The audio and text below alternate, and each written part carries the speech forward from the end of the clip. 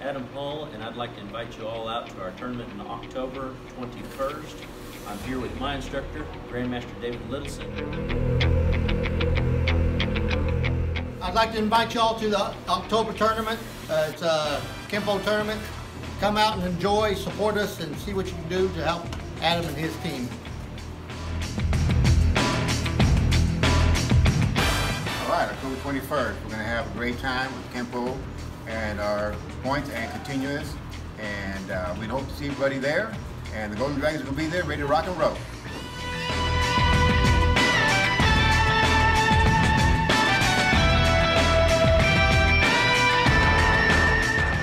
Hello everybody, my name is Coda Scott. I'm with True Power Martial Arts Academy here in Stillwater, and I'm going to talk very briefly about the semi-contact. Uh, we had a lot of questions about it when we made our last post, so I wanted to clarify a few things.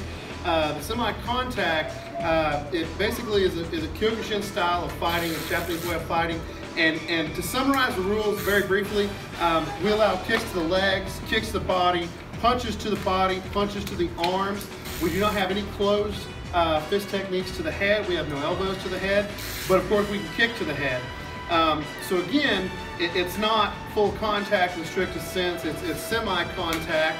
Um, but of course, uh, if you strike your opponent, they go to the ground. They can't get back up five seconds. Uh, you can you can win the fight that way.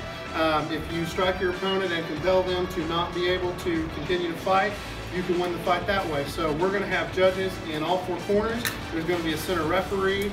Uh, we're going to have a safety meeting before we get started. So semi-contact, it, it's something that we're definitely going to bring to the tournament scene in Oklahoma. We're very excited about it. This is the first of many.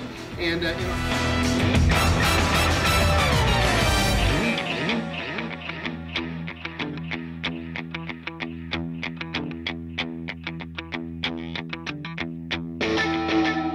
time. So again, thank you guys so much for your engagement, and uh, we look forward to hearing from you guys. So on behalf of all of us, we hope to see you Saturday, October 21st. Us. Us.